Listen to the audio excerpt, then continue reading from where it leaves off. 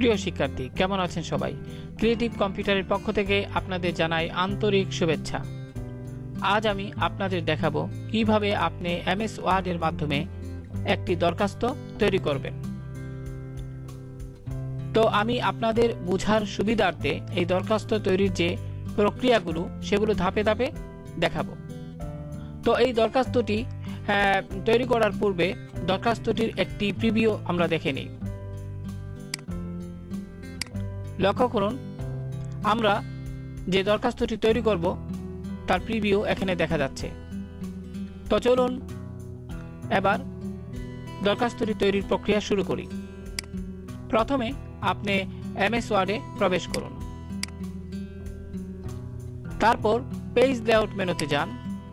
Page layout menu থেকে লক্ষ্য করুন, এখানে সাইজ ওরিয়েন্টেশন মার্জিনস দেখা যাচ্ছে। প্রথমে আপনি সাইজে ক্লিক করুন এবং মেনু থেকে আপনি এ ফোর পেপারটি নির্ধারণ করুন। প্রিয় শিক্ষার্থী, এখানে একটি কথা বলা প্রয়োজন। আপনি যে দরখাস্তটি করবেন, তার বিষয়বস্তু যদি খুব বেশি বেশি বড় হয়, তাহলে আপনি এখান থেকে লিগ্যাল পেপারটি নির্ধারণ করবেন। কিন্তু বেশিরভাগ ক্ষেত্রেই দেখা যায়, দরখাস্ত তৈরি তৈরি করার ক্ষেত্রে আমরা এ ফোর পেপারটি নির্ধারণ করে থাকি। তো আমি এখান থেকে এ ফোর পেপারটি নির্ধারণ করলাম। এখানে ক্লিক করুন। এবার ওরিয়েন্টেশন অর্থাৎ আপনার নির্বাচিত এ ফোর পেপারে আপনি যে অ্যাপ্লিকেশনটি করবেন, অর্থাৎ দরখাস্তটি করবেন, সেটি কি লম্বালম্বিভাবে করবেন না আড়াআড়িভাবে করবেন, সেটি এখান থেকে আপনি নির্বাচন করে দিন।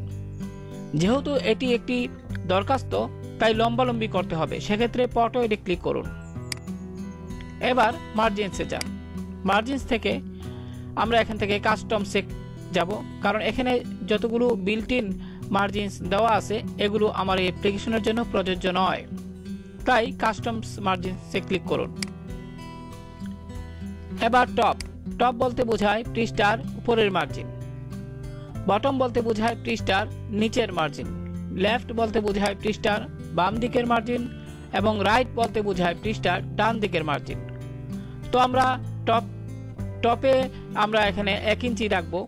বটমে আমরা রাখব আধা ইঞ্চি। পৃষ্ঠার নিচের মার্জিন আমরা আধা ইঞ্চি রাখব। তো এখানে লক্ষ্য করুন, আপনি এটা কীভাবে পরিবর্তন করবেন।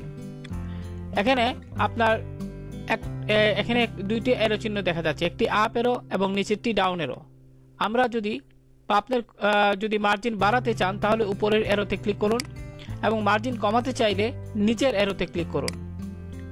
তো আমরা যেহেতু এখানে আধা ইঞ্চি দিব, তো এখানে একটু কমাতে চাই।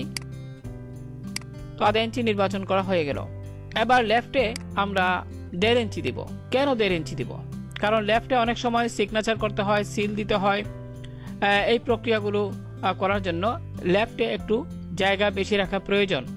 তাই এখান থেকে আমরা মার্জিনটি একটু বাড়িয়ে নেব আপেরও তারা আপেরোতে ক্লিক করে দেড় ইঞ্চি করে নিন। রাইট পৃষ্ঠার ডান দিকের মার্জিন ডান দিকে এক ইঞ্চি থাক। আপনার প্রয়োজনে আপনি ইচ্ছে করলে এখানে আধা ইঞ্চিও করতে পারেন, কিন্তু আমি এখানে এক ইঞ্চি রাখব। এবার ওকে বাটনে ক্লিক করুন।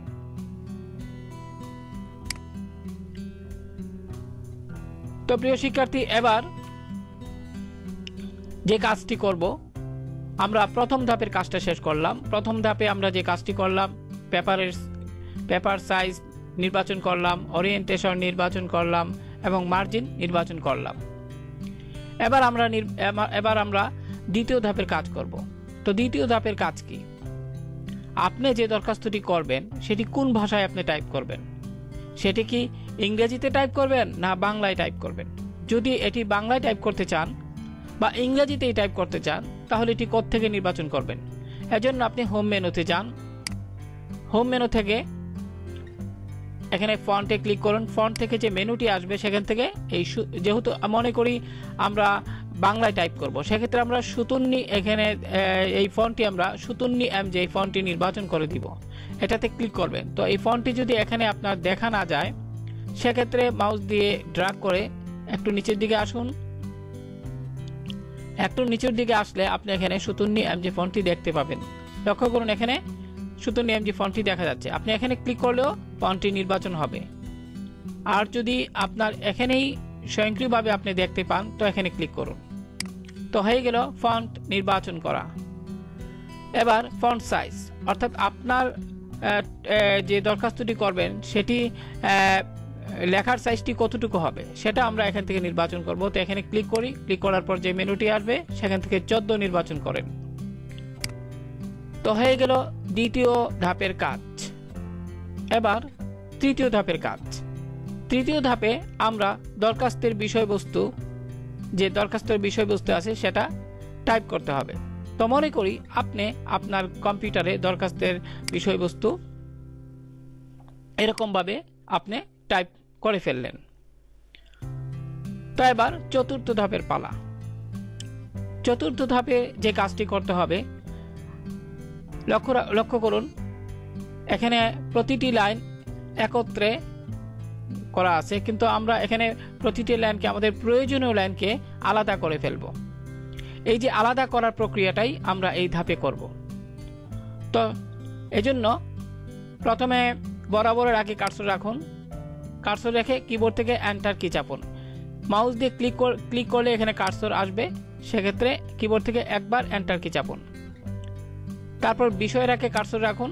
এবং কিবোর্ড থেকে একবার এন্টার কি চাপুন। জনাবের আগে কার্সর রাখুন এবং কিবোর্ড থেকে একবার এন্টার কি চাপুন। যথাবিহিত প্রথম প্যারা। এখানে কার্সর রাখুন এবং কিবোর্ড থেকে একবার এন্টার কি চাপুন। এবার দ্বিতীয় প্যারাতে কার্সর রাখুন এবং কিবোর্ড থেকে একবার এন্টার কি চাপুন। এবার বিনীত এর আগে ক্লিক করে কার্সর রাখুন এবং কিবোর্ড থেকে দুবার এন্টার কি চাপুন।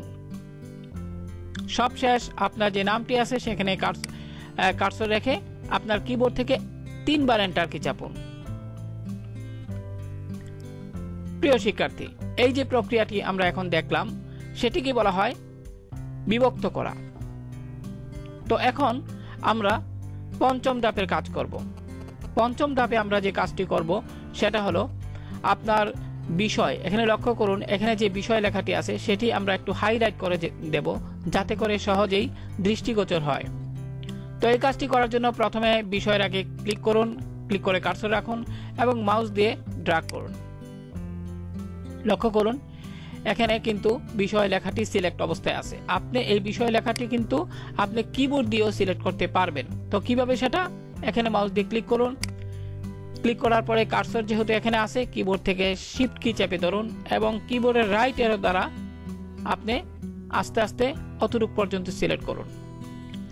এখন আপনার যেভাবে সুবিধা, আপনি এইভাবে আপনি এটা সিলেক্ট করুন। তো আমি মাউস দিয়ে আবার পুনরায় সিলেক্ট করছি। সিলেক্ট করার পর হোম মেনু থেকে বিতে ক্লিক করুন। বিতে একবার ক্লিক করলেই দেখবেন এটা বোল্ড হয়ে গেছে, অর্থাৎ একটু গাঢ় হয়ে গেছে। সেক্ষেত্রে আপনি যদি এই বিষয়ে বোল্ডটাকে আপনি যদি আবার বাতিল করতে চান, পুনরায় এখানে ক্লিক করলেই হবে। অর্থাৎ একবার ক্লিক করলে বোল্ড হবে আর একবার ক্লিক করলে বোল্ড চলে যাবে। যেহেতু আমাদের বোল্ড করার দরকার, তাই পুনরায় ক্লিক করলাম। এবার পানির লাইন স্থানান্তর ও পুনঃসংযোগ প্রসঙ্গে। এই এই লাইনটিকে, লাইনটির নিচে আমরা একটি আন্ডারলাইন দিব। তো আমরা যতটুকু আন্ডারলাইন দিতে চাই, ততটুকু মাউস দিয়ে ক্লিক করে সিলেক্ট করে নিব। এবার হোম মেনুর অধীনে ইউতে ক্লিক করুন। লক্ষ্য করুন, এখানে ইউ দেখা যাচ্ছে। আপনি ইউতে ক্লিক করুন। দেখুন, এখানে আন্ডারলাইন হয়ে গেছে। এবার সাদা অংশে ক্লিক করলে ডিসিলেক্ট হয়ে যাবে। তো এতক্ষণ আমরা বিষয়টিকে বোল্ড করলাম এবং পানির লাইন স্থানান্তর পুনঃসংযোগ প্রসঙ্গে এই লাইন লাইনের নিচে একটি আন্ডারলাইন দিলাম। প্রিয় শিক্ষার্থী, এবার আপনার যে দরখাস্তে যতগুলো প্যারা থাকবে, আমার এই দরখাস্তে মোট প্যারা আছে দুটো। এখানে একটি প্যারা এবং এখানে আরেকটি প্যারা। তো একটু মনোযোগ দিয়ে যদি খেয়াল করেন, দরখাস্তের বাম বাম প্যারার বাম দিকে আপনার সমান, কিন্তু প্যারার ডান দিকে কিন্তু অসমান। তো এই জিনিসটি আমরা কীভাবে সমান করব। এই যে সমান করার প্রক্রিয়াটা, একটা অনুচ্ছেদের বাম এবং ডান উভয় দিক দিয়ে সমানভাবে করার যে প্রক্রিয়াটা, সেটাকে বলা হয় জাস্টিফাই। তো আপনি প্রথমে এখানে ক্লিক করুন এবং মাউস দিয়ে ড্রাগ করে আপনার প্যারাটাকে সিলেক্ট করে নিন। সিলেক্ট করার পর এখানে হোম মেনুর অধীনে আপনি জাস্টিফাই লক্ষ্য করুন এখানে মাউস পয়েন্টার নিলেই আপনার লেখা আসবে। এখানে এতে ক্লিক করুন। তো এখানে প্যারার উভয় দিক দিয়ে সমান হয়ে, সমান হলো। এবার দ্বিতীয় প্যারা প্যারাটুকু আপনি একই নিয়মে সিলেক্ট করুন। এবার পুনরায় জাস্টিফাইতে ক্লিক করুন। লক্ষ্য করুন, এখানেও কিন্তু এই প্যারাটি উভয় দিক দিয়ে সমানভাবে উপস্থাপন হয়েছে। প্রিয় শিক্ষার্থী, এবার আপনার যে দরখাস্তটি রয়েছে, এই দরখাস্তের যে অনুচ্ছেদ আছে, সেই অনুচ্ছেদে যদি কোনো গুরুত্বপূর্ণ কোনো লেখা থাকে, যেমন আমি এখানে দেখাচ্ছি আপনার, এখানে প্রায় দীর্ঘ পনেরো বৎসর যাবৎ। এটা একটা সময়ের কথা যে আমি এত বছর যাবৎ আমি পানির পানি ব্যবহার করছি। হ্যাঁ তো কর্তৃপক্ষের তখন এটা যদি আমি একটু হাইলাইট করে দিই, অর্থাৎ বোল্ড করে দিই সিলেক্ট থাকা অবস্থায়, তাহলে কিন্তু দেখতে ভালো দেখায়। হুম তাহলে দেখুন কত সুন্দরভাবে এখানে এটা বোল্ড হয়ে গেল।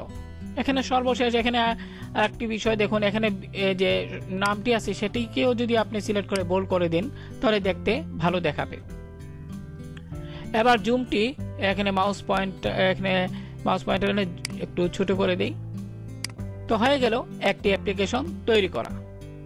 প্রিয় শিক্ষার্থী, এখন এই অ্যাপ্লিকেশনটি তৈরি করার পর আপনি যখনই প্রিন্ট করতে যাবেন, প্রিন্ট করার পূর্বে কতগুলো বিষয় আপনার মাথায় রাখবেন? খেয়াল করুন, আমার অ্যাপ্লিকেশনটি আমরা এখানে ফরম্যাট করছি ঠিকই, কিন্তু অ্যাপ্লিকেশনের নিচের দিকে প্রচুর জায়গা খালি রয়ে গেছে এবং উপরের দিকে কোনো, সেই তুলনায় অনেক কম। এমত অবস্থায় আপনি যদি এটি প্রিন্ট করেন কোনো কাগজে, অর্থাৎ এ ফোর পেপারে যদি প্রিন্ট করেন, তাহলে কিন্তু এখানে যেভাবে আছে প্রিন্ট করলেও ঠিক সেইভাবে প্রিন্ট হবে। তো এটা দেখতে আপনার ভালো দেখায় না। তো এই জন্য কী করবেন অর্থাৎ অ্যাপ্লিকেশনটি যেন কাগজের মধ্য মধ্যস্থানে থাকে, সেজন্য আপনি তারিখের এখানে ক্লিক করে কার্সর আনুন এবং কিবোর্ড থেকে এন্টার কি চাপুন। আস্তে আস্তে আপনি জুম এখানে জুমগুলো ছোট করে আপনি সহজে দেখতে পারবেন। হ্যাঁ প্রিয় শিক্ষার্থী, এখন সুন্দরভাবে সুন্দর দেখা যাচ্ছে। তো এইভাবে আবার যদি মনে করেন যে না, আমি বেশি নামিয়ে ফেলছি, তো উপরে আবার জায়গা বেশি, নিচে কম, সেক্ষেত্রে কিন্তু বৃষ্টি লাগবে। তো আপনি মাউস পয়েন্টার এখানে রাখবেন এবং কিবোর্ড থেকে ডিলেট কি অথবা ব্যাক স্পেস কি চাপবেন। কিবোর্ড থেকে ব্যাক স্পেস ব্যাক স্পেস যে বাটনটি আছে সেটা চাপলে আপনার উপর দিকে যাবে। নতুবা ডিলেট কি চাপেন। ডিলেট কি চাপলে আপনার সহজে নিতে পারবেন দেখেন কত সুন্দর। একটু নামাই। হ্যাঁ এখন দেখতে ভালো দেখাচ্ছে। তো প্রিয় শিক্ষার্থী, এইভাবে আপনি আপনি একটি, আপনার কম্পিউটারে একটি দরখাস্ত তৈরি করতে পারবেন। তো দরখাস্তটি এখন দেখি প্রিন্ট প্রিভিউতে কেমন দেখায়।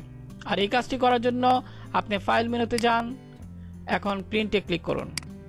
লক্ষ্য লক্ষ্য করুন, এখানে প্রিন্ট প্রিভিউতে তৈরিকৃত দরখাস্তটি দেখা যাচ্ছে। এবার প্রিন্ট করার জন্য সম্পূর্ণ প্রস্তুত। তো প্রিয় শিক্ষার্থী প্রিন্ট কীভাবে করতে হয়? এর জন্য আমার আরেকটি টিউটোরিয়াল আমি সামনে তৈরি করব। সেটা দেখার জন্য আমন্ত্রণ জানাচ্ছি। তো এখন আপাতত হোম মেনুতে যাই। তো প্রিন্ট করার পূর্বে আপনি বেশি গুরুত্ব দিবেন যাতে অ্যাপ্লিকেশনটার মধ্যে কোনো ভুল ত্রুটি না থাকে। কারণ যদি কোনো ভুল থাকে তাহলে এটা তো কাম্য নয়। তো আপনি মনোযোগ সহকারে কোনো বানান টানার যদি ভুল থাকে, সেটা যাতে না থাকে সেই বিষয়টার উপর আপনি খেয়াল করবেন। কারণ বানান যদি ভুল থাকে তাহলে সমস্যা হবে। তো মনে করি সব কিছু ঠিকঠাক করলেন, এবার ঠিকঠাক করে আপনি এটা প্রিন্ট করবেন। তো প্রিয় শিক্ষার্থী, মনে করি আমার এই টিউটোরিয়ালটি আপনাদের ভালো লাগছে। যদি আপনার এই টিউটোরিয়ালটি ভালো লাগে, তাহলে আমার চ্যানেলের সবগুলো ভিডিও দেখবেন লাইক দিবেন সাবস্ক্রাইব করবেন। ধন্যবাদ সবাইকে, ভালো থাকবেন।